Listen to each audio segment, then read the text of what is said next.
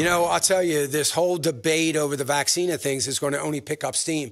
It's not going to get any worse. People are, uh, you know, saying, "Oh, we got to stop talking about it." I think the American people are have had it. You know, nobody wants to be penned up anymore and locked up anymore under government mandate. And the government, obviously, it's very, very obvious. They have no clue. They don't know what they're doing, and uh, they don't know why they're doing it.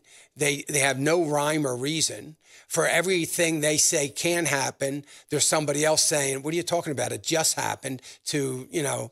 Uh, 10,000 more people. I mean, it, it is, it's insanity. And truly, truly, the American people are being used as laboratory rats.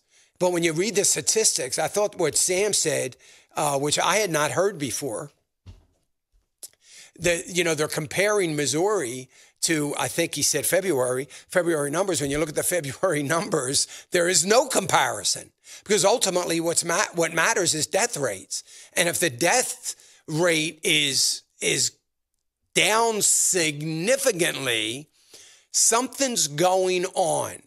And I don't know, I have a very limited uh, ability to understand all this stuff, but it is is this virus mutating to the weaker side like all viruses do.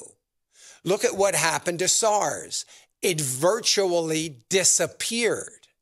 Now, the so called SARS vaccine killed three people and they took it off the market, but it didn't matter. It went away. So, is this going to at the end of this summer start going away. And what I mean by that is we have 50,000 people saying, yeah, oh yeah, I had, I, I got COVID last summer. You know, I, I got it.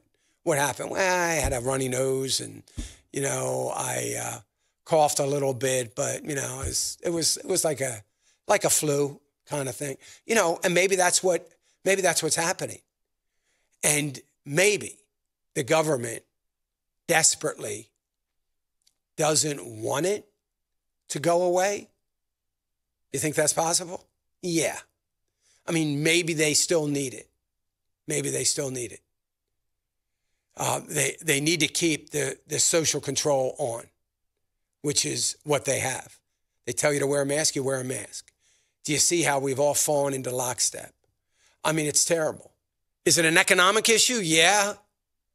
Yeah. I don't know what I don't know what shops are going to do and restaurants are going to do, but I'll tell you this much. They cannot afford to close again. And they know it. They know they can't afford it. They know that they can't go through this again. If they go through this again, they're out of business. They barely survived. Somehow, by the grace of God, they su- survived. They don't want to, they don't, they don't have enough ammunition to fight this again from a financial perspective, and they're not going to. And they're, they're not going to make it, they're going to close. And uh, they, they don't want to do that. They're trying to survive. They're trying to build their business back up, not turn around and destroy it again. Hey, remember to click the subscribe button right here on the screen. And don't forget to hit the notification bell so you'll be notified when new content is added.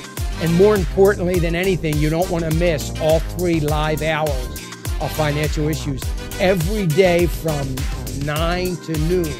And you can watch it on FISM.tv. That's FISM.tv.